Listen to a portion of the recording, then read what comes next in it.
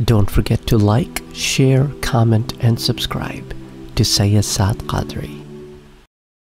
السلام علیکم ورحمۃ اللہ وبرکاتہ آج ہی ایک بھائی نے حور عینہ سے متعلق سوال بھیجا اور میں اس ویڈیو کی ریکارڈنگ بھی کر رہا تھا تو میں نے سوچا کہ اس پر بھی ذرا بات کر لی جائے حضرت ابو حریر رضی اللہ تعالی عنہ فرماتے ہیں کہ جنت میں ایک حور ہے جس کا نام عینہ ہے اس پر میں آپ کو پہلے بھی بہت دفعہ دروس دے چکا ہوں حور عینہ سے متعلق۔ لیکن اب چونکہ سوال آیا تو اس کو ایک دفعہ پھر دیکھ لیتے ہیں۔ اور یہ جو روایت ہے حضرت ابو حریرہ رضی اللہ تعالی عنہ والی یہ البدور الصافرہ میں اسے امام سیوتی لاتے ہیں حدیث نمبر 2049 اسی طرح اسے امام طبرانی لے کے آتے ہیں اور پھر تذکرت القرطبی میں بھی آتی ہے۔ اسی طرح اسے امام حیثمی مجمع الزوائد میں بیان کرتے ہیں۔ تو جنت میں ایک حور ہے جس کا نام کیا عینا ہے۔ ان فی الجنتی حورا، حوراء یقال لها اور جب وہ چلتی ہے تو اس کے ارد گرد ستر ہزار خدمت گزار لڑکیاں چلتی ہیں۔ تو اب آپ یہ دیکھیں کہ جس کو یہ حور ملے گی تو اس حور کے ساتھ خدمت گزار عورتیں یہ بتا رہی ہیں کہ یہ حور کتنی شان والی ہے۔ باقی تو یہ ہوتا ہے نا کہ جیسے پچھلے درس میں ہم نے پڑھا کہ وہ درخت کے پاس گئے اور ایک حور کو اپنے ساتھ لے گئے اللہ کے ولی، تو وہ تو حور بذات خود آ رہی ہے۔ اور یہ تو ایسی حور ہے جس کے ایک ایک حور کے ساتھ ستر ہزار خادمائیں ہیں، خدمت گزار لڑکیاں ہیں۔ تو سوچے وہ کتنی شان والی حور ہوگی۔ اب لوگ کہتے ہیں کہ کیا وہ ستر ہزار خدمتگار لڑکیاں بھی ہمیں مل جائیں گی؟ نہیں جی وہ اس حور کی خادمائیں آپ کی نہیں ہیں۔ یہ اس حور کی خادمائیں ہیں، یہ اس کی شان ظاہر کر رہی ہیں کہ وہ کوئی عام حور نہیں ہے۔ وہ شہزادی ملکہ ٹائپ حور ہے اور جن، وہ عورت جو دنیاوی عورت ہے جو جنت میں داخل ہوگی، وہ تو اس حور سے بھی اعلیٰ درجے کی ہوگی۔ ہر حور سے اعلیٰ درجے کی ہوگی وہ عورت جو دنیا میں نیک عمل کر کے پھر جنت میں داخل ہو اور حسن کے اعتبار سے بھی اعلیٰ ہوگی اور فضیلت کے اعتبار سے بھی اعلیٰ ہوگی۔ اور یہ بھی نہیں کہ بندہ اپنی بیوی سے جو دنیا والی عورت ہے، مل لے تو پھر حور کی طرف کبھی جائے گا ہی نہیں۔ ایسا معاملہ بھی نہیں ہے، کیونکہ جنت میں یہ معاملہ ہی نہیں ہے۔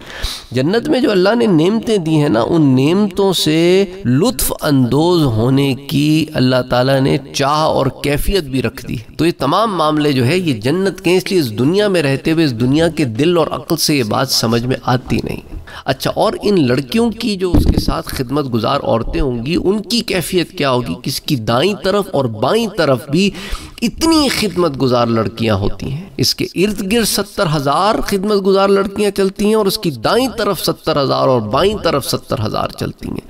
تو اب آپ اس لیے اس سے اندازہ کر لیں کہ seventy thousand plus seventy thousand plus seventy thousand تو دو لاکھ دس ہزار خدمت گزار لڑکیاں اس کے ساتھ چلتی ہیں اس کی اب آپ اندازہ کریں، دو لاکھ ہمارے ہاں لوگوں کے ملکوں میں فوج نہیں ہوتی، دو لاکھ۔ تو یہاں دو لاکھ دس ہزار تو صرف اس ایک حور کی خدمت گزار لڑکیاں ہیں۔ تو اب سوال یہ پیدا ہوتا ہے کہ یہ پھر ملے گی کیسے؟ بھئی اتنی اعلیٰ حور ہے جس کی اتنی خدمت گزار لڑکیاں ہیں، تو وہ حور کی ایک اپنی کلاس ہوگی نا۔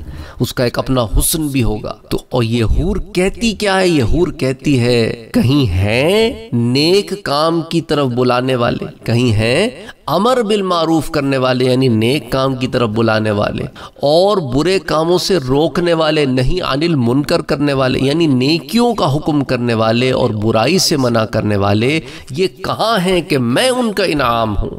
یعنی ہر ایسے آدمی کو ایسی ایک ایک حور عینہ عطا کی جائے گی، یا تو امر بالمعروف اور نہیں عن المنکر کرتے رہنے کے ثواب میں یہ ایک حور ملے گی، یا یہ کہ ہر دفعہ امر بالمعروف اور نہیں عن المنکر کرنے کے ثواب میں یہ حور عطا کی جائے گی۔ تو اس میں علماء کا اختلاف ہے کہ ساری زندگی یہ کام میں لگے رہنے کی وجہ سے ایک حور ملے گی یا ہر دفعہ جب یہ کام کیا تو اس کے بدلے ایک ایک حور ملے گی، اللہ بہتر جانتا ہے کہ ہر دفعہ امر بالمعروف اور نہیں المنکر کے ثواب میں حور عطا کی جائے گی۔ تو ظاہر یہی ہے، علماء نے کہا ہے کہ یہ دونوں رائے جو مختلف علماء کی رکھنے کے بعد پھر متاخرین نے یہ کہا ہے کہ اس کا ظاہر تو یہی ہے کہ ہر دفعہ امر یا نہیں کرنے سے یہ حور ملے گی۔ تو سوچے کہ اگر انسان ایک زندگی میں دس ہزار مرتبہ یہ کام کرتا ہو، تو اس کو دس ہزار تو صرف یہ ہورے ملیں گی اور ہر ایک کے ساتھ دو لاکھ دس ہزار کا معاملہ ہے۔ سبحان اللہ سبحان اللہ کہ اس کی خدمت گزار لڑکیاں ہوں گی۔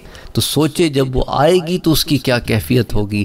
کس شان سے وہ آئے گی؟ اس دنیا میں کسی کے آگے دس پندرہ باڈی گارڈز ہوں اور دو تین پجیروز ہوں، وہ روڈ پہ سڑک پہ نکلا ہو تو لوگ کہتے ہیں، واہ بھائی، کوئی بہت بڑا رجواڑا ہوگا، کوئی بہت بڑا چودھری ہوگا، کوئی منسٹر ہوگا، کہیں کا ایم این اے ہوگا، کوئی ٹھاکر ہوگا۔ ہاں، اس طرح کے ذہن میں سوال آتے ہیں نا، کوئی بہت بڑا پولیٹیشین ہوگا، کوئی بہت بڑا خان ہوگا، سائیں ہوں گے۔